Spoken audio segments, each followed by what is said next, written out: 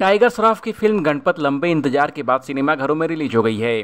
पहले दिन ही दर्शकों का इस फ़िल्म को खूब प्यार मिल रहा है। साउथ सुपरस्टार रजनीकांत ने भी फ़िल्म के लिए टाइगर को ढेर सारी बधाई और प्यार दिया है। उन्होंने ट्विटर पर टाइगर श्रॉफ और फ़िल्म की पूरी टीम को शुभकामनाएँ दी, जिसके बाद जैकी श्रॉफ ने भी उनका धन्यवाद किया। रजनीकांत ने ट्विटर पर लिखा, टाइगर और गणपति की पूरी कास्ट और क्रू को दिल से बधाई।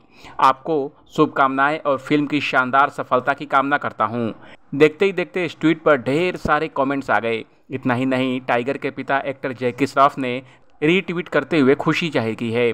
उन्होंने लिखा थलाईवा रजनी सर, मेरे परिवार को सपोर्ट करने के लिए धन्यवाद। आपके और आपके परिवार के लिए मेरा प्यार और सम्मान हमेशा रहेगा, मेरे भाई। इसके साथ ही उन्होंने दिल वाला इमोजी भी शेयर किया है। आपको बता दें कि हाल ही में रजनीकांत की ब्लॉकबस्टर फ़िल्म जेलर में जैकी श्रॉफ भी नज़र आए थे। फ़िल्म में उनका कैमियो रोल था इसके पहले भी रजनीकांत और जैकी श्रॉफ साथ में काम कर चुके हैं।